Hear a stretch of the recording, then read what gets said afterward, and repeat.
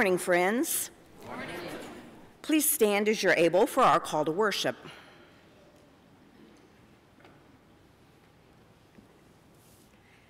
Make a joyful noise to the Lord, all the earth. Serve the Lord with gladness. Come into his presence with singing. Know that the Lord, He is God. If he, it is He who has made us, and we are His. We are His and the sheep of His pasture. Enter His gates with thanksgiving and His courts with praise. Give thanks to Him. Bless His name. For the Lord is good, His steadfast love endures forever. And His faithfulness to all generations. If you'll remain standing, our opening hymn this morning is Come, Thou Fount of Every Blessing. You can find it on page 400 in your hymnal, or the words are on the screen.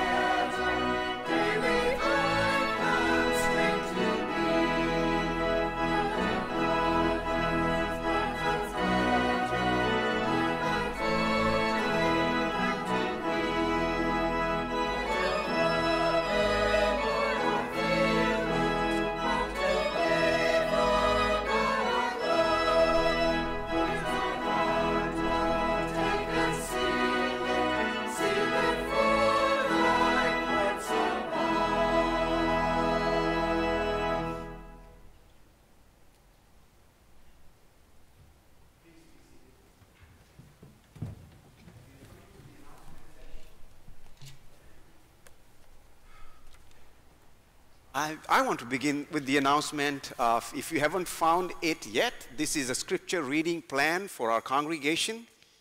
And you will receive it at the end of the service. It's, uh, I think, uh, behind the pews on the table. Uh, please feel free to take it. If you remember, maybe last week I said to you that something is coming. And this is what I'm, I was referring to. Uh, as I said that, uh, the Word of God two-week sermon series that we had, and we as a congregation need to get to the Word of God every single day. Amen?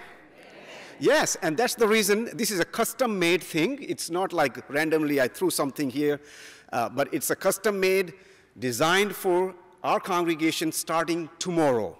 So, February 6th, starting tomorrow, you will have daily scripture reading plan. And I want to say, I'm not imposing it on you, but because of the survey, only 11% are having this daily scripture reading in their lives. And God's word is so important for us. Amen? So, I planned for you. And if you do not like my plan, you don't have to follow. But I will ask you, what's your plan? And if you say, I don't have one, I would say, mine is better. Thank you.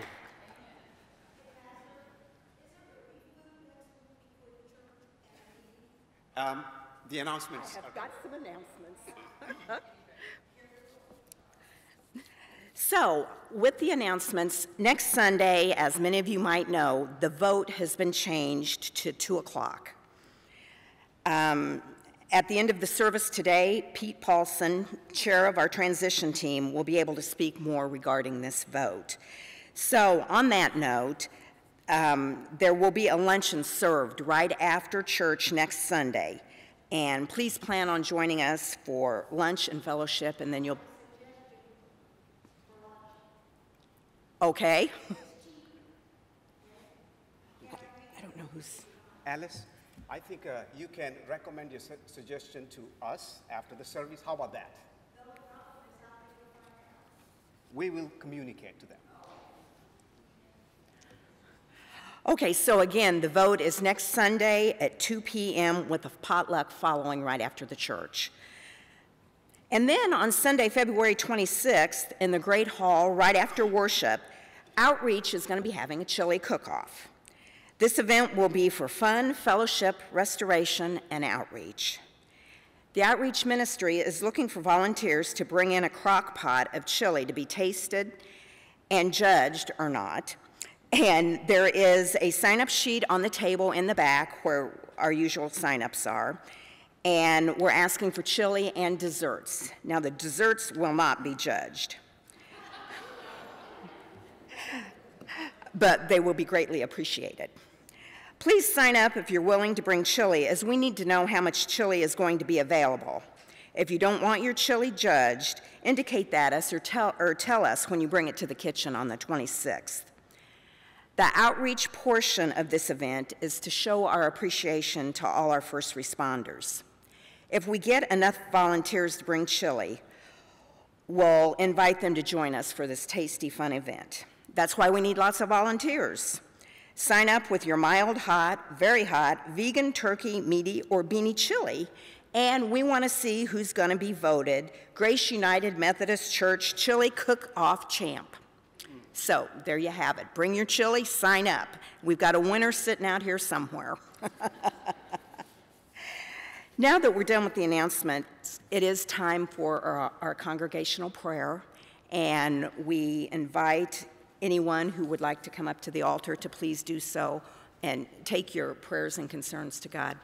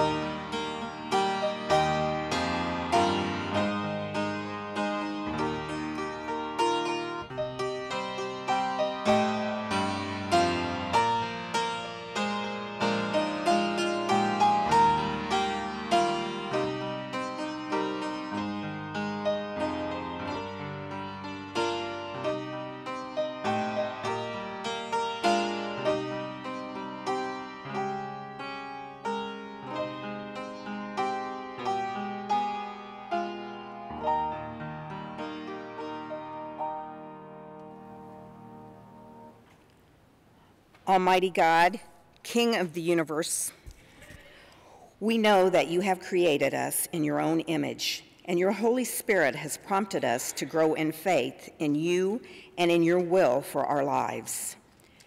You have placed eternity in our hearts and given us power to discern good from evil. Give us desperation, Lord, to seek things that endure and to those which perish.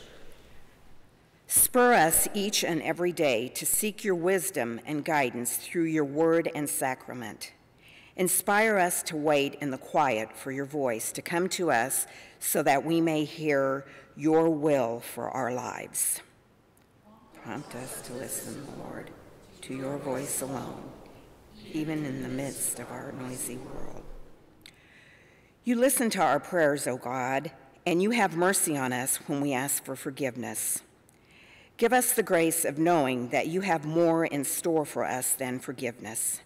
You have a path for us to follow and a purpose for us to pursue. Make us deaf to all other desires of the flesh and of worldly success. We submit ourselves to you alone and willingly become captives to the obedience of Christ. Help us surrender our desires to you, so will. Lord, speak to us that we may speak. We ask, Father, that your Holy Spirit speak to us now as we wait on you for wisdom, insight, and direction. Whatever you show us or direct us to do, we pray that we will quickly and confidently obey. Give us clean and complete in hearts, O Father. We ask this to spoken words in the name of Jesus Christ, who taught us to pray. Our Father, who art in heaven, hallowed be thy name. Thy kingdom come, thy will be done, on earth as it is in heaven. Give us this day our daily bread, and forgive us our trespasses, as we forgive those who trespass against us. And lead us not into temptation, but deliver us from evil. For thine is the kingdom, and the power, and the glory forever. Amen.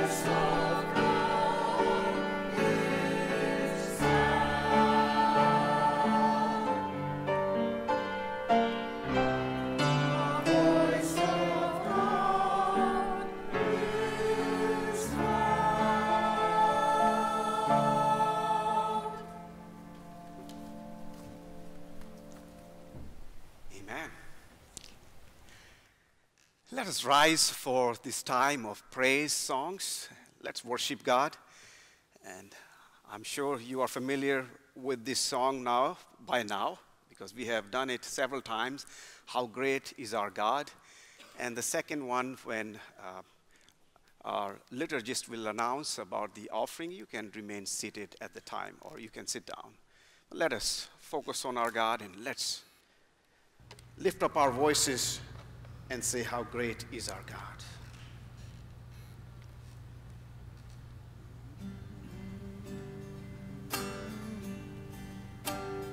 How great is our God. Sing with me, how great is our God. All will see how great, how great is our God.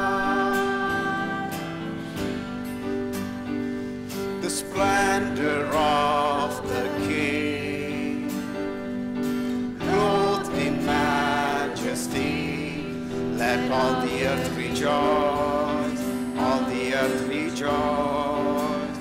He wraps himself in light, darkness tries to hide, and trembles at his voice, trembles at his voice. How great is our God! Sing with me, how great is our God! All will see how great, how great is our God. Age to age he stands, and time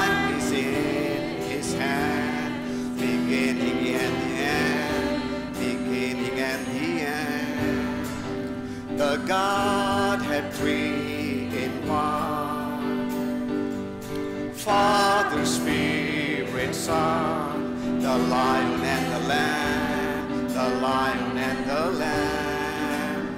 How great is our God! Sing with me, how great is our God! All will see how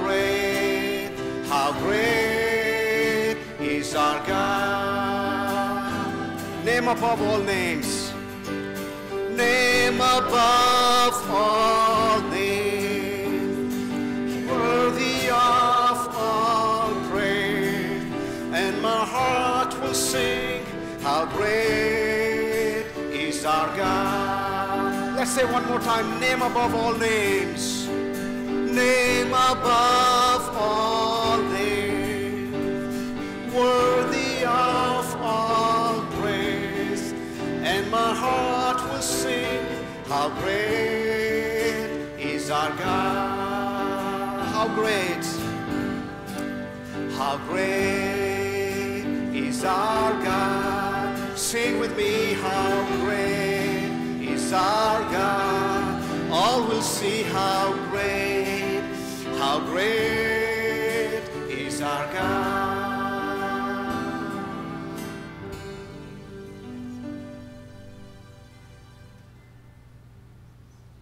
If you'll, ple- if you'll please be seated, and at this time, the ushers will be coming forward for our tithes and offerings. As we give our offering to the Lord, let's continue to worship God and say, God, draw me close to you. Draw me close to you. Never let me it all down again to hear you say that I'm your friend. You are my desire.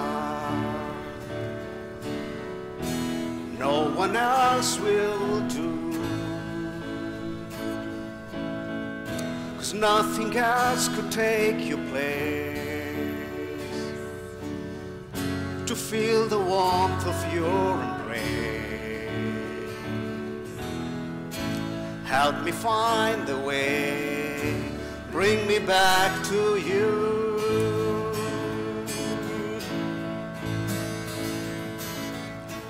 You're all I want. You're all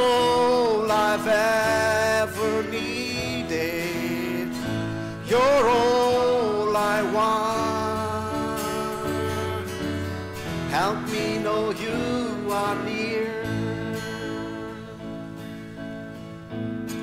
Draw me close to you.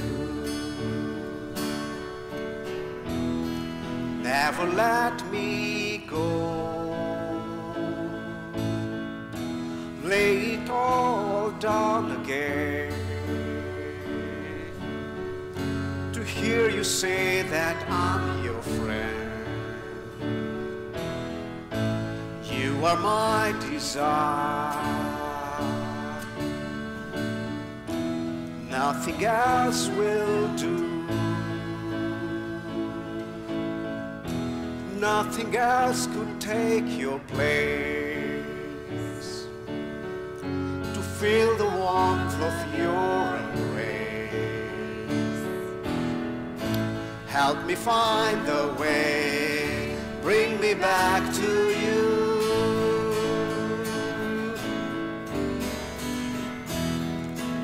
All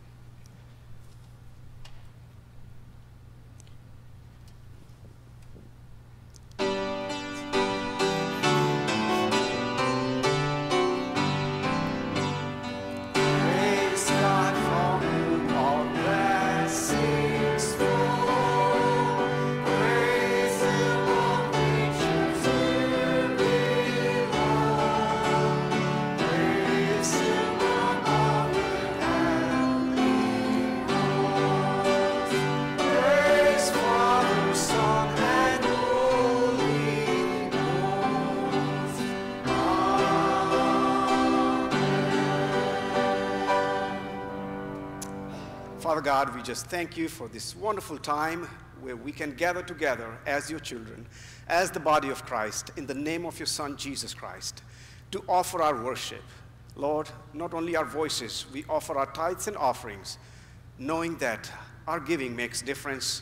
Use us and use these gifts for the transformation of this world. In the name of your Son, Jesus Christ, we pray. Amen. Okay. While you are still standing, this is our time to greet one another, and I want to bring greetings to you from my wife. She sent me a message and said, please give my greetings to the church. So receive it. And let's uh, greet one another uh, in the name of Jesus Christ.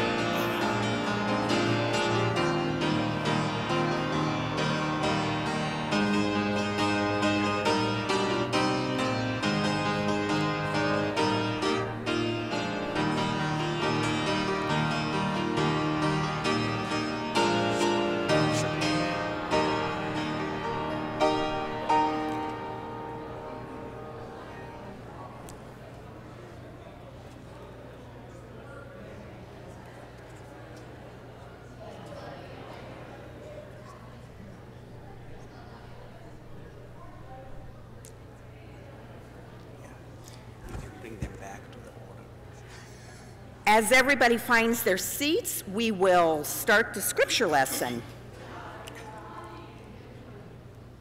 Please stand to hear the scripture reading this morning.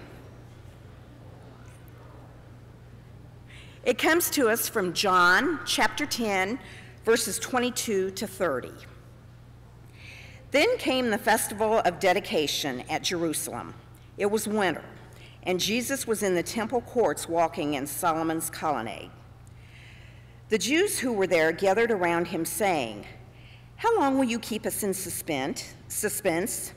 If you are the Messiah, tell us plainly.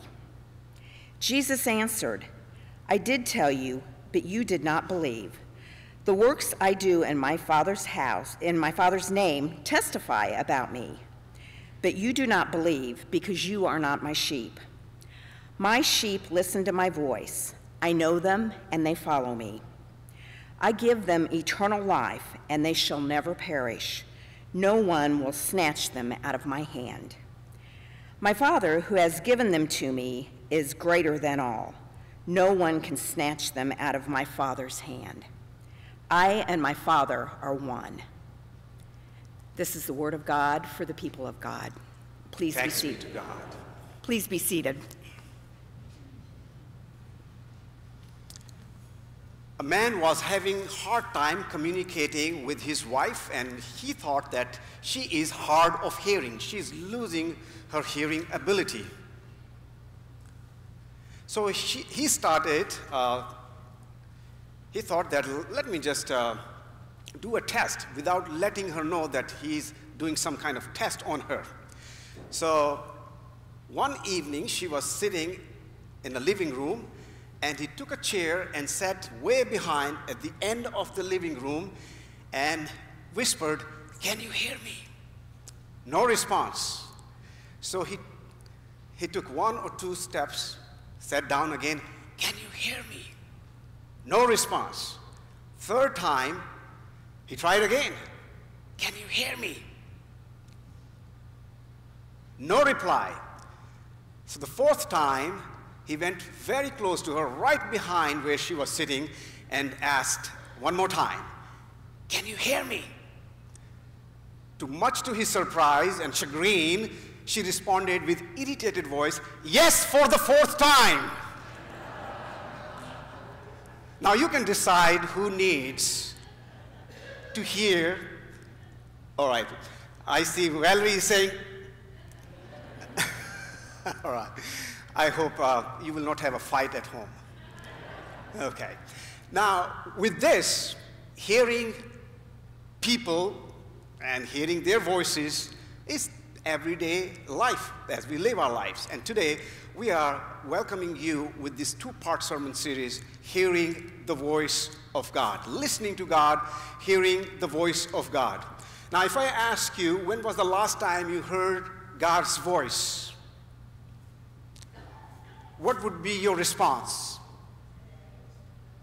Yes, some of you will say today, and also it will depend on how much we want to hear God's voice, and also whether God speaks to us all the time or not. You know, it depends on each and every, it's very subjective question. You know, if you are not trained in a certain way, you will say it's a very subjective question whether God speaks to us or not and how often God speaks to us or not. And we also know that we have a way of uh, hearing God's voice and turning off that voice. This is all up to us.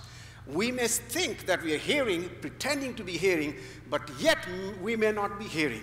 So as we begin this sermon series, I will continue with this Next week, we have a packed service today. We have communion. I have to be mindful of that. Uh, so, on this first Sunday of the sermon series, I just want to start with some, uh, some conversations here. You know, how, how do we know that we are hearing God's voice? Sometimes we think it's God's voice, sometimes we think it's my own voice, sometimes we think that it's Satan's voice. It's very difficult to distinguish between voices. Am I speaking something that makes sense to you right? We all go through this. We all wrestle with this. You know, is this my voice? Is this Satan's voice? Is this God's voice? Is this someone else's voice? So, as we enter into this two week sermon series, I just wanted to ask you when do you know that you're hearing God's voice? But normally, generally speaking, we do not live like this all the time. Is this God's voice or not? Right? Every single day, we know that we have a common sense. How many of you know what a common sense is? Right? We live by common sense. We are not always spiritualizing it. So, all those who are like on the edges of the seat, you know, everything is going to be spiritualized here? No. We live by common sense, right? God has given us reason, God has given us common sense, and most of us, we will say that every single day. I don't really pay attention to whether God is speaking to me or not. I live by common sense, right? Give, uh, live by reason, right? I live by expert, experts' advice, right?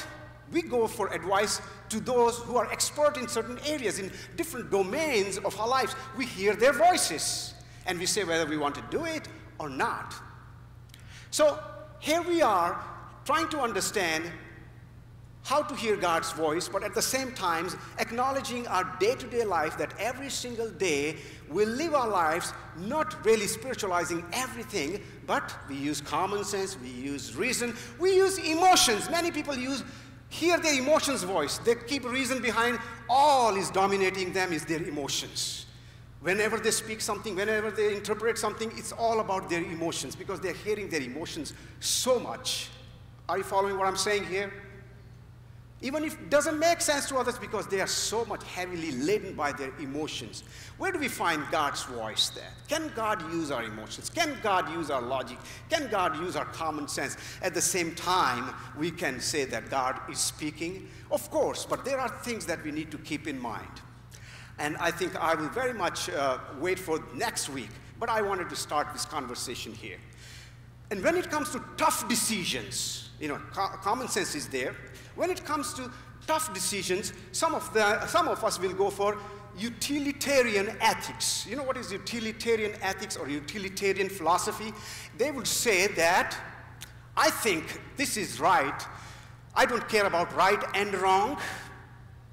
They're more in saying that end justifies the means. That is utilitarianism. End justifies the means means in this tough decision, uh, I think what is the optimum outcome, the best outcome for this? I would aim for that. I don't care about this is right, this is wrong. So end justifies the means. As long as I'm able to see at the end everything is going to be okay, I think we can go with that. So they, they keep uh, right and wrong kind of thing at the back. They don't start with that. Then there are others who are pragmatists. Pragmatism is all about is this, is this workable? Is this something that will help us get the maximum outcome? There's no right and wrong. It's all about how to live this life for the best of our lives. And now again, you know, it's a slippery slope because it depends on what do you think is the best and who decides what is the best. So, but we live our lives every single day with those things. When it comes to tough decision, we buy into some kind of philosophies. What works? What doesn't work? What I think? What do you think? And then at the end, it is all about what is the right voice I think is. Again, it comes to I think, I think, I think. When it comes to Scripture, we come to know that God speaks. And interestingly, throughout the Scripture, right from the beginning, Genesis, to the end of the Holy Bible, the Word of God, God speaks to us in all domains of our life. Means the one who has created us, we spent two weeks on the Word of God. By now, I think we are prepared to hear this message that God's word dictates how we have to live. I will come to that again next week. Pardon me, I may repeat this next week, but you have to come back next week to hear some of the things that help us clarify things, how to hear God's voice. So now, here we are. When we look at the scripture, we know that God speaks. And God speaks, interestingly, in all spheres of our lives. When Jesus was on this earth, I would say he addressed all that is pertaining to our life. From heaven, hell, relationship with one another, relationship with God, vertical and horizontal dimensions, everything Jesus spoke about. There was hardly anything, I would say, Jesus left out. It covered the top things under which other things will fall, but he covered life. Amen? If you haven't read the scripture, if you start analyzing what Jesus talked about, from money, from this and that, whatever topic is in your mind, look in the scripture and you will find that. Why would God do that? Because God cares for us and He wants us to hear God's voice. Now, why? Because we are wired to hear voices. We live our lives by hearing voices. There's a voice, a silent voice, or a loud voice, or a voice of the culture, a voice of people, a voice of your dad and mom. Voices are all around us. And we hear those voices and we act out. Even a person who is having a hallucination or going through some difficult time psychologically is responding to the voice. Interview them and they will say, I did this because there was a voice. Voice was coming and I did it. I didn't know what I was doing. A voice. No wonder why the scripture among all the metaphors and analogies, uses the analogy or the metaphor of God being our shepherd and people being sheep. That simply means if in the Old Testament and in the New Testament Jesus uses that analogy to show his relationship with us and our relationship with him, basically it means that it's indispensable, absolutely indispensable for the sheep to live without the shepherd. Period. Why? Because we all know that sheep without the shepherd will get lost, will go into places, dangerous places, without food, without provision. So I don't have to repeat Psalm 23, where David says, The Lord is my shepherd. I don't have to talk much about the Old Testament when Jesus himself again says, I am the good shepherd, where God in the Old Testament talks about being the shepherd, God the Father being the shepherd. So here we are. We understand that sheep cannot live without hearing the voice of the good shepherd. Am I making sense so far? Amen?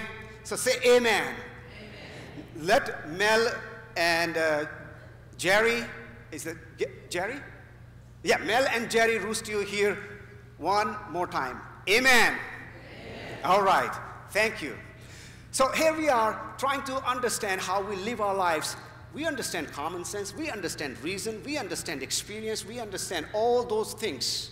And we also understand the utilitarian th theory of how to make the best of this life, forgetting about whether it's right and wrong, and we'll decide whether that is right or wrong or we become pragmatics. Practically speaking, I'm a man of practice. Practically speaking, I don't think it goes, period. For me, it doesn't matter whether it's right or wrong, it's all about practicality. But then comes Jesus on the scene and he says, I'm not asking you to assassinate your brain that I use most of the time. God has given us common sense. God has given us reasoning. It's all God's gift for us to use. But at the same time, we know that for us as believers, as Christians, as followers of Christ, our pragmatism, our utilitarian theories can go wrong. We may be very sincere, but may be wrong at the same time. Can you believe that? That you can be very sincere in your love, in your faith, and be wrong at the same time? Some of you are scratching your head. How can it be? I'm very sincere. I love Jesus. I'm very sincere. I have strong faith in Jesus. I am very sincere. Is it possible that you may be sincere in what you do and be wrong at the same time? Billy Graham, I'm not sure whether you heard this or not. Billy Graham, in his uh, autobiography, and also I was watching a video, he talks about that, that sincerity does not mean that you're right. Being sincere doesn't mean you're right. let me read out something uh, what Billy Graham wrote in his autobiography. Once I was sick, mother thought she was giving me cough medicine, but she gave me iodine instead. Some people will say iodine. Where I grew up, we will say iodine, but iodine, iodine, whatever. But we all know that this is not good if you go beyond certain dose. So she said, he, he says that my mother loved me. She was sincerely giving me something to help me, but that was not good. I will not tell you the rest of the story because that will take away our time. But you can find what happened, or you can read his autobiography. What he meant to say that many sincere people are out there. They love Jesus. They can be very sincere in their faith. They can be very sincere in their love. Yet at the same time, they can be wrong. Why am I repeating this? The reason is that, that we should be open to hear God's voice because many a times our sincerity can also become a hindrance in hearing God's voice. You know why I'm saying this? Because in John 10 today, the Jews are around Jesus. And let me tell you, these Jews are serious people. They were waiting for Messiah. Amen? Religious leaders were not just simply practicing their religion, they were really sincere, serious people. We cannot just say that they were crooks. No, at all. They were fasting, they were praying, they were asking God, God, send us the Messiah. And when Jesus is preaching among them, if you have read the scripture which uh, uh, Dianne has so beautifully read for us, if you remember, the Jews are saying, they were confused. They were kind of wondering in suspense and asking Jesus, please tell us, are you the Messiah? And Jesus said, I already told you. I am the Messiah. In other words, what I'm doing, he said, see, look at the works that I'm doing. What were they missing? They were sincere in asking, yet it, they were not right because they were too sincere. They missed the boat by not looking into the Word of God. When Jesus quoted Scripture, when Jesus said, This is fulfilled in Luke, in Him, he was basically quoting from the Old Testament, and these people were almost like too blind to see. Things were happening right in front of their eyes. Jesus, the Word of God, Jesus, the creator of the universe, was speaking, but they were not listening. You can hear things, but you may not be listening. What is listening? Listening means you take an action to follow through what you heard. Listen to me. You can hear things and you can ignore. But listening is, I want to submit to what I heard. So, what I used here right now is just these people. Jesus is among them, and there's a crowd. Those who are listening to Jesus, they're following Jesus, including Jesus' disciples, though they do not understand everything. Yet they have enough faith and trust that they are listening to Jesus, following. Jesus' disciples are among them, the crowd is among them. Though they do not, do not fully understand what does it mean to call Jesus the Messiah, as if they have not really grasped it fully. However, we can distinguish the crowd. One is against Jesus. The other one is just trying to be ama just amazed and trying to understand what Jesus is saying. His disciples, if you remember that, Andrew goes and tells, We have found to Nathanael, we have found the Word of God talks about the Messiah. We have found that Messiah, right? Peter comes, and they are following Jesus. But you see, you can sincerely follow, but at the same time, you can be wrong. Now, let me give you another example. Jesus asked his disciples, Who do you say I am? Peter responded, You are the Christ, the Son of God. You are the Messiah, the Christ. What was Peter hearing? Peter was hearing from God because Jesus confirmed that, that who revealed this to you? God. My Father revealed it to you. That means Peter's ears were tuned to what God wanted to say. But you see, the next moment, Peter's faith is strong in Jesus. Peter is a good disciple, he's a sincere disciple, but the next moment when Jesus says that I will be crucified or I will be persecuted, the same Peter took Jesus aside and began to rebuke Jesus. You know what did Jesus say to Peter in the next moment? Get behind me, Satan. Do you see? Peter's faith was sincere, right? Do you follow what I'm saying? Peter was a faithful disciple of Jesus, but at the same time, he was paying attention to what? Not God's voice this time. It was the enemy's voice. Jesus said, This is, get behind me, Satan.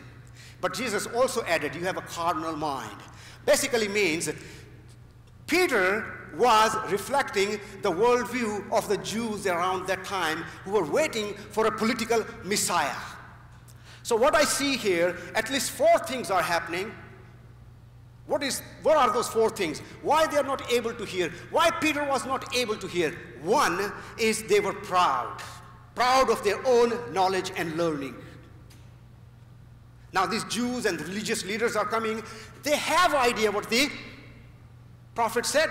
They have idea what the Old Testament says. But in their pride, they are missing the big picture where Isaiah 53, that suffering servant.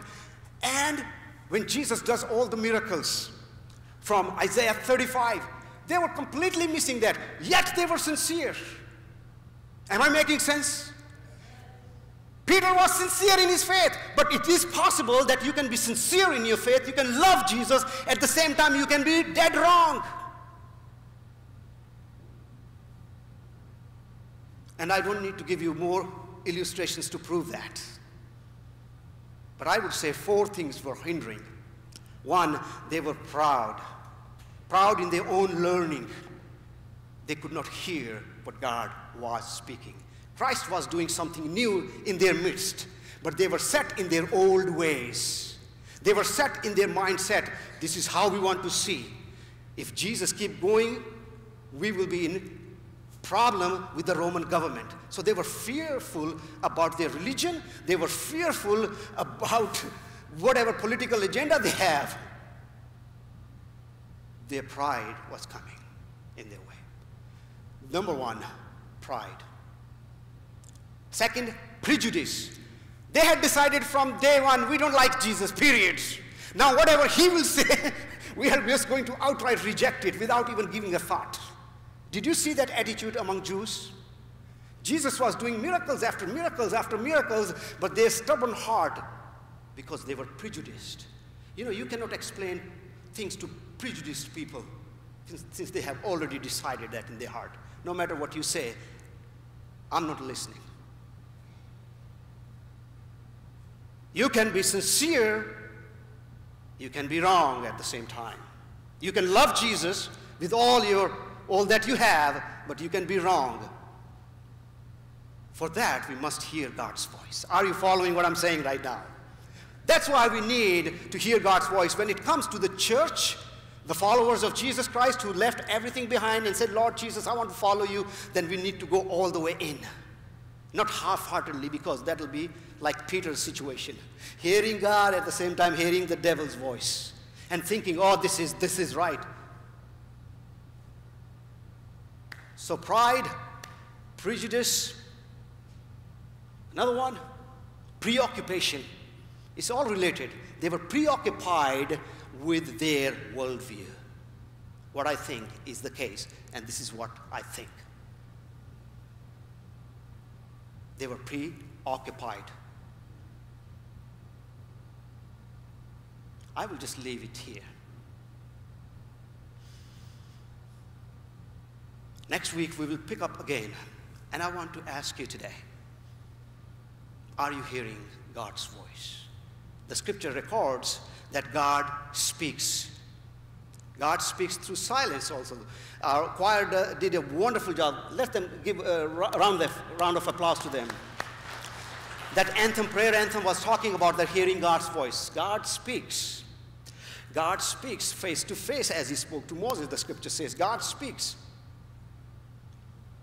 God uses, God uses audible voices, a soft voice in your mind. God uses different means to speak to us. God uses angels. God sends His Holy Spirit to speak to us. God even uses an animal. If you want to know about that, Numbers 22, you will find out. God uses Balaam's donkey to get attention so that he can correct the way of this prophet. God speaks at all times. But the question is, am I hearing the voice of God? In our difficult, tough decisions, how we can hear the voice of God. Maybe these things we need to keep in mind. First of all, the humility. I can be very sincere in my love and faith, but I can be wrong.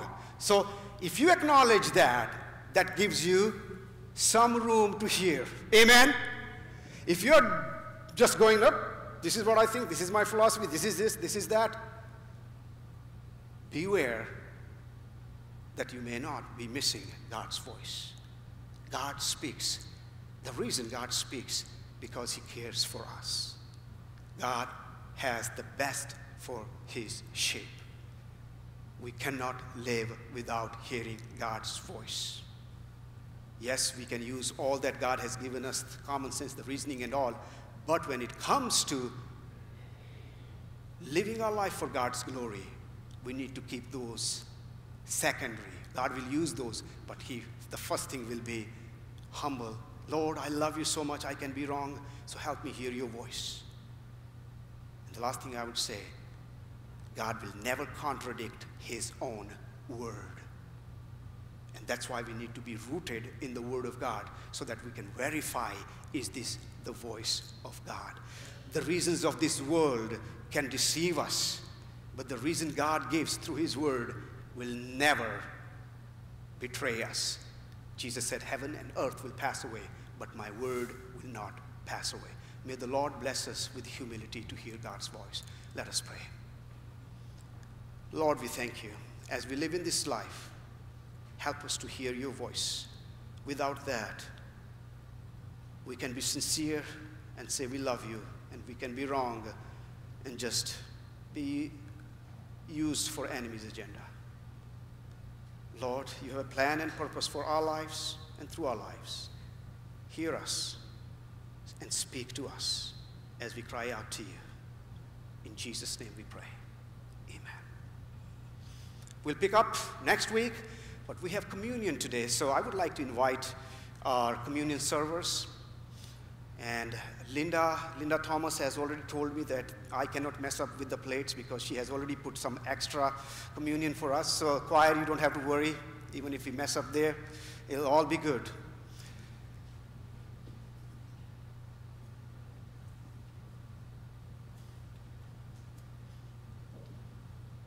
And after I have communion with the, the servers, the ushers are going to direct you. Okay.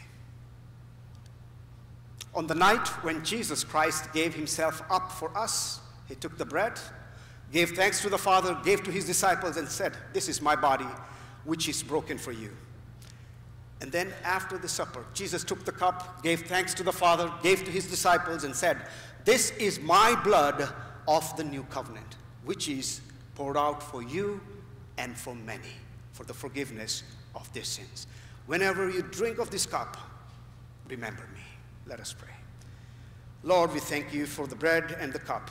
We come to your table knowing that you love us and care for us. Lord, as we participate in your table, we pray that nourish us with the bread and the cup, that we might become the bread of life to the world, redeemed by the precious blood of Jesus Christ. Pour out your Holy Spirit upon the elements. Pour out your Holy Spirit upon us.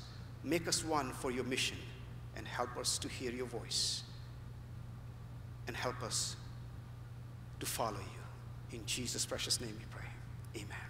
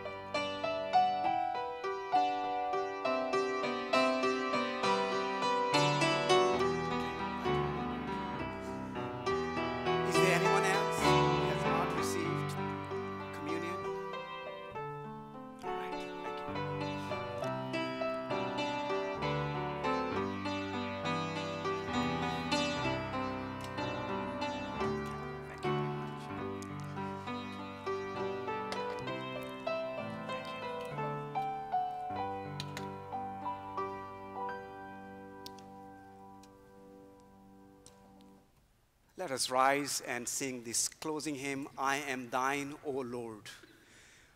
And remember, after the service is ended, Pete Paulson uh, will take five to seven, seven, ten minutes approximately. And that is one of the reasons I'm releasing you early today, okay? so stay back. Let's sing together.